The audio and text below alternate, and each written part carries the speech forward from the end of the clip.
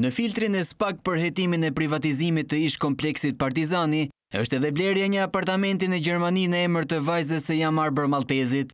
Mes dokumenteve të sekuestruara nga spak janë edhe disa shpjegime të dhëna nga vajza e Malltezit, Dasara Malltezi, për një institucion gjerman, në lidhje me origjinën e dyzet e dy mijë eurove që i kishte dërguar babai i saj.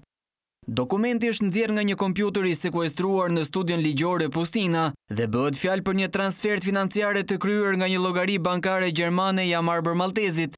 Përmes saj jepeshin përgjigje që Dasara Malltezi duhet t'i kthente institucionit gjerman. Nga përmbajtja e letrës bëhet fjalë për një kontratë blerje banese në Gjermani. Referuar dosjes në letër thuhet se. Babai im depozitoi draft-kontratën për blerjen e apartamentit tim në bankën e tij në Shqipëri. duke i njoftuar ata që i nevojiten të bëhen disa transferta në llogarinë time për të realizuar blerjen. Ekziston një kufizim ditor për transfertat online dhe ai nuk mund të transferonte të gjithë shumën në llogarinë time. Kur ai transferoi treqind e njëzet mijë euro në llogarinë time papritmas bankat lokale në Shqipëri patën një problem për rreth tre-katër ditë me sistemin e tyre online, Kontrata ishte e ndjeshme ndaj afateve kohore, paratë duhet të shkonin te noteri, brenda një date të caktuar, në mënyrë që të mos dështonin detyrimet kontraktore, ndaj ai vendosi që të transferonte shumën e mbetur prej dyzet e dy mijë eurosh nga llogaria e tij në Gjermani.